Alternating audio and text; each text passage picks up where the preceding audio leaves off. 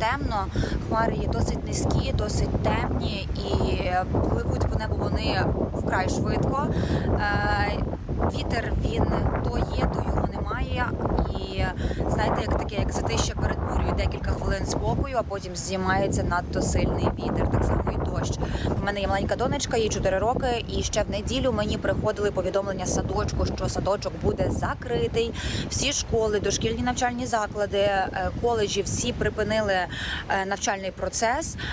Так само і на роботах людям почали відправляти повідомлення, що в зв'язку з погодніми умовами ми перебуваємо вдома по четвер, четвер-п'ятниця е, ще поки що під розглядом. Але дивлячись на ці погодні умови, я гадаю, що четвер і п'ятниця так само все буде закрито. Ви знаєте, вже вчора і позавчора можна було на касах побачити листочки, на яких писало, що по дві упаковки води на людину можна купити в магазині, і це якоюсь мірою нагадало мені Україну на початку війни, коли знаєте, були такі дефіцитні товари, і писалось, наприклад, там пакет гречки чи одна олія на покупця і не більше.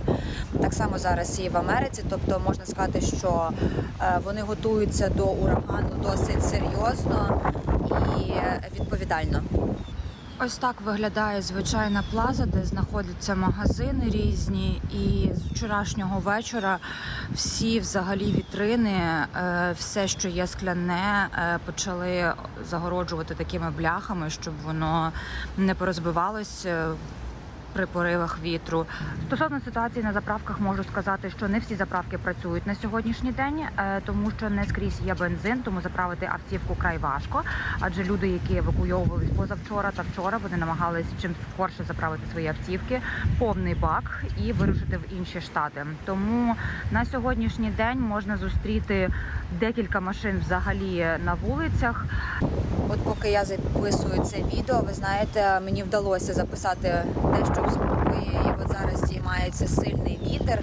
Можливо, камера не передає всієї цієї сили вітру, але скажу чесно, досить холодно і досить потужний вітер.